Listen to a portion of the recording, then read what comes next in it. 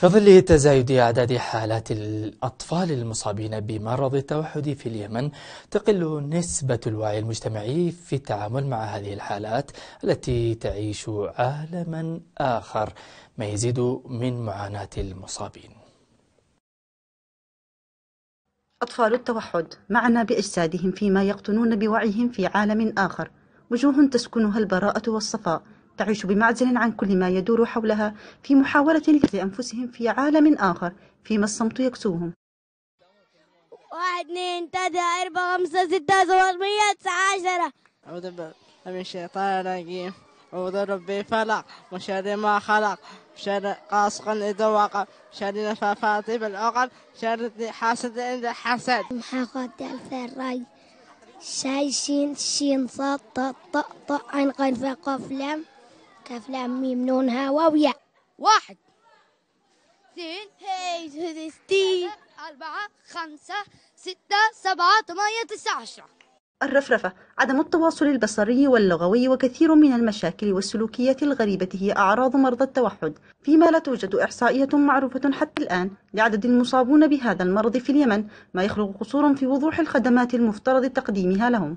هو هو فوق ال 165 طفل وطفلة. هذا طبعا الأطفال اللي هم يقولنا من مختلف مديريات عدن. لكن في عندنا أطفال أيضا إحنا متواصلين مع أطفال المحافظات في عندنا إصابات من من لحق أبين ضالع أحيانا يافع. هل الأطفال إحنا نقدم لهم نصيحة؟ في نفس الوقت إحنا ندعو المجتمع إنه يتواصل صح مع هذه الشريحة لأنه ربنا ابتلاهم بوجود طفل احتياجات خاصة صعب التعامل معه طفل التوحد.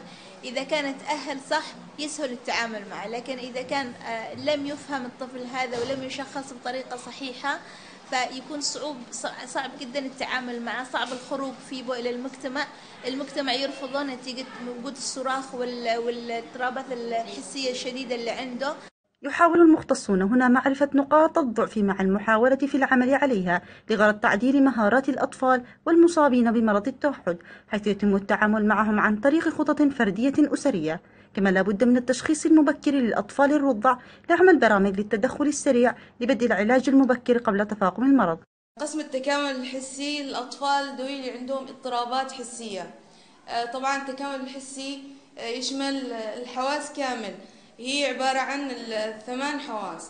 بس هنا عندي في القسم هو عبارة عن جزئين فقط الحركي والتآزر البصري على حسب إمكانيات الجمعية. هذا اللي والآن فقط يعني برضو عبر دخولي عبر النت واليوتيوب بدأت أتابع شوية شوية وأطور شوية من القسم. طبعا معنا قائمة حسية الطفل لما يدخل عندي القائمة الحسية هذه يتم عبر سؤال ولي الأمر. وعبره نشوف نقاط الضعف اللي عند الطفل إيش نقطة الضعف؟ وتبقى مهارة هنا عندنا فنشتغل عليها.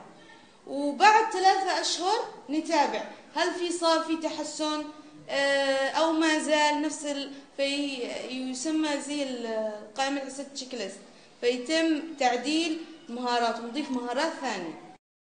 يتميز طفل التوحد بأن ذاكرته البصرية قوية جدا ما يجعل المختصين يستثمرون هذه الميزة في عملية استبدال الكلمة بالصورة في تنمية المهارات المفقودة بالنسبة لهم. وكثير من مرضى التوحد أثروا بالعالم مثل الفنان البريطاني المتوحد ستيفن ويلستون. وغيره كثير ما يفترض علينا الاهتمام بهم وبقدراتهم أكثر لخلق معجزة ربانية.